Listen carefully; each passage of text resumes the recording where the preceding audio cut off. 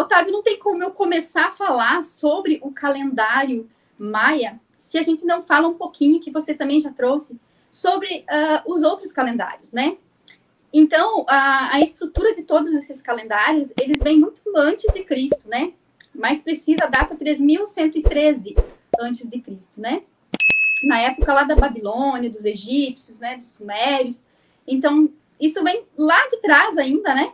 E o calendário, ele essa estrutura dele, ele ele foi estruturado, na verdade, quando os povos começaram a fazer as trocas de alimentos, né, de, as trocas que eles faziam. E aí o povo, então, né, o poder, ele viu isso, né? E ele, então, estruturou um calendário, né, para que existisse o quê?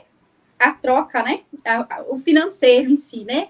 Por isso que vem calendário, né? O calendário vem de calenda, que é um livro de cobradores de impostos.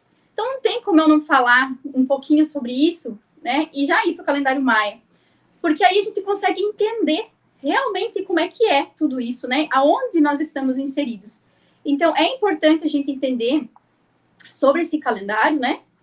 E o calendário gregoriano, na verdade, ele passou por uma transformação, por uma reforma, lá em 1582, se não me falha a minha memória, depois de Cristo. Foi a última reforma que ele passou, né? E, e, eles fizeram alguns ajustes nesse calendário gregoriano, então. E, na verdade, é um, eles sabiam dos 365 dias, né? E eles dividiram, então, o calendário em 12 meses, né? E esses 12 meses ficaram totalmente uh, bagunçados, vamos dizer assim, né? Meses com 28, meses com 30, meses com 31. E, e, mas tudo isso também tinha um propósito, né? Os meses que tinham 31 dias, 30 dias, receberam o nome realmente dos grandes imperadores, né? Então, os grandes imperadores, eles realmente ganharam as, os números maiores, vamos dizer assim. Então, existe aí também algo, né, é, para que realmente no, nossa mente ficasse bagunçada. O calendário gregoriano, ele o povo, na época, quando passou por esse ajuste do calendário, eles dormiram, então, no dia 4.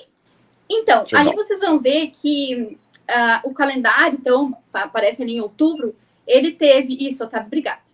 É, vocês vão ver que ele vai do 1 ao 4 e depois ele já pula logo lá para o 15, né? Por quê? É, o povo, ele foi dormir, então, no dia 4 e eles acordaram no dia 15. Então, por que isso, né? Porque na época o Papa Gregório, ele existiu o calendário juliano antes, né? Então o Papa Gregório ele quis é, organizar as datas da Páscoa. Ele precisava tirar alguns dias para que a Páscoa caísse no dia que ele queria que caísse. Então a gente já começa a entender como é que o nosso mental está. Olha a bagunça que nós estamos inseridos né? Quando a gente entende que nós estamos num, inseridos num calendário que não tem nada a ver, não, não é nada harmônico, nada sincrônico, a gente consegue entender como é que a nossa mente está. Não tem como nós estarmos conectada com a natureza vivendo num calendário que foi feito dessa forma, né? Isso existe muito mais histórias. Se eu ficar aqui falando sobre esse calendário, vai longe, né? Outra informação importante sobre esse calendário é que, então, os grandes imperadores ganharam o, o nome, né? Uh, o, Augusto, o Augusto recebeu o, o, mês de agosto, Júlio César, mês de, ju, de julho, né? E se a gente parar para entender os meses, então quando a gente fala em setembro, qual, o que mês remete? Né? Remete o mês 7, né? De setembro. Novembro, 9. E nós estamos totalmente, então, desarmonizados, porque setembro é mês 9 no nosso calendário. Começa a bagunça, começa a bagunça toda por aí, porque em função do poder, né? em função é, do comércio, né? de incentivar, de trabalhar o mental das pessoas é, para o ter. Né? Eu não sou contra o ter, é, eu acho que, que o, o, dinheiro, o trabalho, né, é, é importante, é essencial, faz parte de tudo isso, mas eu quero que vocês entendam a real, a real noção que eles tiveram, a real intenção que eles tiveram em fazer tudo isso, né? Então, é, o livro de cobrança de impostos era realmente para arrecadar, né? Então, o Papa Gregório, na época, ele já enviou para vários pontos, né, para vários lugares, diversos lugares, vários uh, sacerdotes, que eles foram, então, é, impedidos. Existia uma norma que eles eram impedidos de falar sobre qualquer outro tipo de calendário. Então, já começa aí toda uma manipulação. O conhecimento começa a se perder. Foi proibido em diversos, em todos os pontos, né? do planeta. E eles foram instituídos a queimar toda e qualquer informação. Então a gente já começa a entender que muitas das informações também se perderam porque foram queimadas, né?